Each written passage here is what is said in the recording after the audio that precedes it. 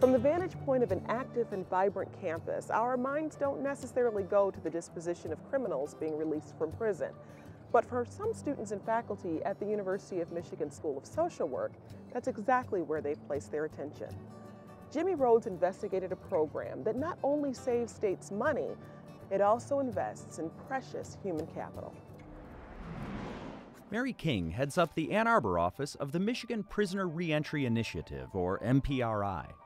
Prior to the program's launch here less than three years ago, Washtenaw County, home to Ann Arbor and the University of Michigan, had the highest recidivism rate in the entire state, a whopping 76%. We started with the women because There's certainly money to be saved, around $35,000 a year per inmate, and more for those with special needs.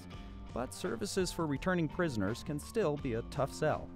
How do you make an argument to people who might uh, have objections that this is a worthwhile program? it's a really great point. Somewhere between 90 and 97 percent of all of the people who are incarcerated are eventually going to be released.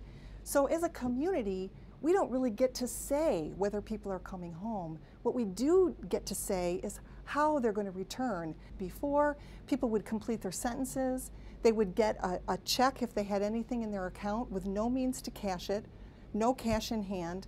They would get taken, if they didn't have family to pick them up, to the local bus station and dropped off with no housing in place, no employment in place, no services. So it's not really a big surprise to me that there was such a high return rate. In our community, about 30 to 35 percent of all the people who come back here um, come back without stable housing.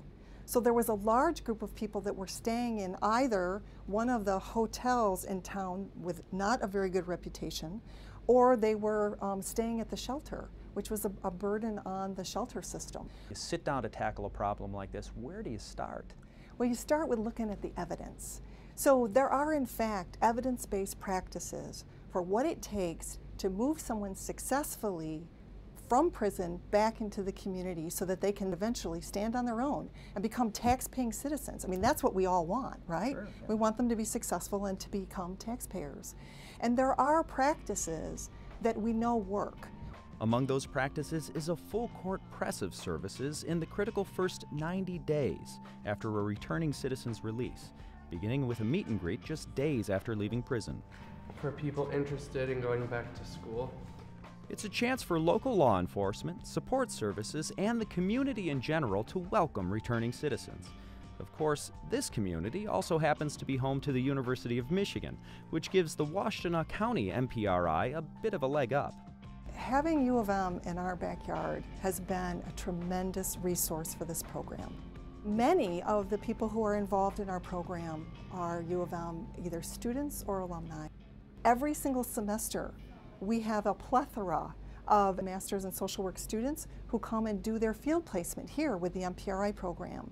And as a result of those students, we're able to offer a lot of adjunct benefits. For example, um, U of M students have helped us coordinate some of the public education presentations and go out in the community and talk to potential employers to see if they'd be willing to hire folks with a, a felony conviction. We're looking at trying to reduce some of the barriers to employment for this group. And we have U of M students who are helping us with that. We're also doing a bowling night coming up. Many of those students catch the MPRI bug and stay on as staff to keep helping this stressed population. I graduated from the University of Michigan, but I'm here as an AmeriCorps Vista. Have they been given any advance notice of what resources are going to be waiting for them? Everyone gets a video in reach. It's a two-way video feed from the parole office to their facility. Um, and it's me, their parole agent. Um, if they're in commercial housing, it's the housing director.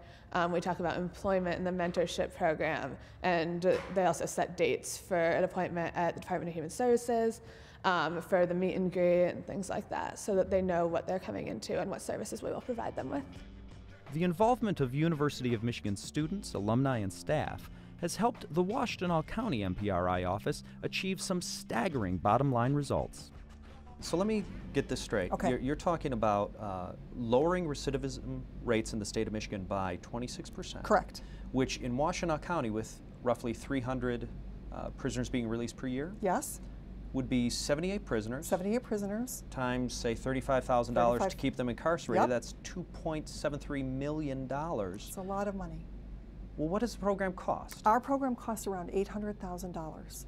and that provides housing, um, transitional employment, employment services, bus passes, cognitive restructuring, relapse prevention, the whole gamut of services for $800,000.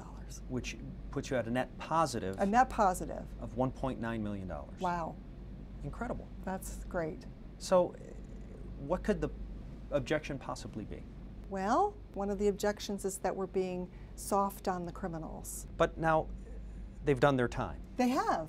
I think that at some point there needs to be um, a day when we say, that's enough. You've paid for your crime. That's enough. And you get to start over.